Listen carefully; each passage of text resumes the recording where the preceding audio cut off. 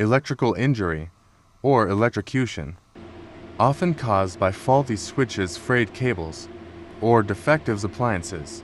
Liquids, especially water, are conductors of electricity, so an electric appliance, which is normally safe, become dangerous if your hands are wet, or you are standing on wet floor. What to do in case of electrical injury? When approaching a person in contact with electricity, make sure you do not become the next victim. If possible, switch off electrical current.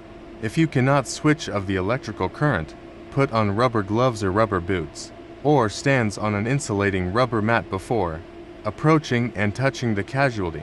If the victim is entangled in electrical lines, try to remove the lines with a wooden pole, a wooden chair, an insulated cord, or any other suitable non-metal objects. Check immediately for breathing and heartbeat.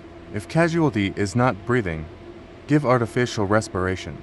If there no heartbeat, apply chest compressions. Send for help. When breathing is restored, cool any burned areas with cold water and cover with a clean, dry, non-fluffy dressing.